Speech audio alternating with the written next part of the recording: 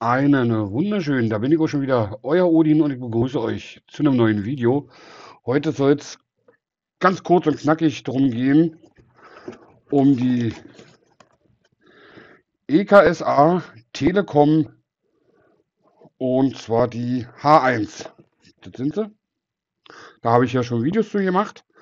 Und ich habe mir gedacht, äh, wir machen auch gleich einfach mal noch einen reinen Mikrofontest. Das, was ihr jetzt gerade hört, das Mikrofon, das ist das Mikrofon, was hier dran ist. Am Headset. Das ist nicht verschönigt, nichts, kein Filter drüber, gar nichts.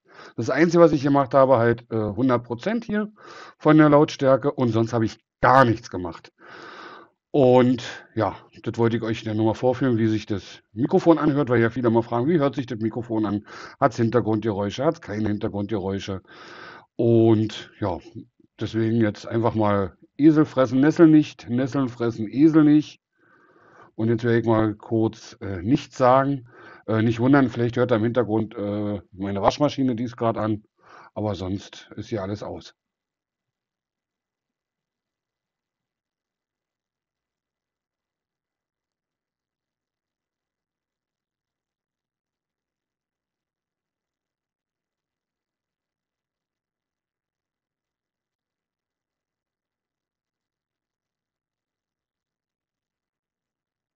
So, würde ich sagen, das reicht mit Schweigen. Ich weiß selber noch nicht, äh, wie es sich anhören wird. Ähm, ich werde es mir gleich dann anhören, äh, ja, wenn ich das Video bearbeite, logischerweise. Ich werde dann aber nicht nochmal einen Kommentar dazu machen. Das ist jetzt einfach nur für euch, damit ihr mal reinhören könnt, wie das Mikrofon ist. Wie gesagt, kein Filter, keine Verbesserung, keine Software, die noch zusätzlich läuft oder irgendwas dergleichen. Rein ungefiltertes Mikrofon, einfach nur hier in Camtasia aktiviert, so wie es ist.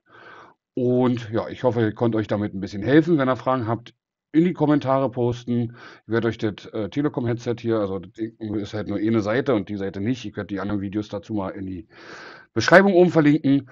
Und ja, wir sehen uns dann beim nächsten Mal. Bis dahin, haut da rein. Ahoi, sagt euer Odin.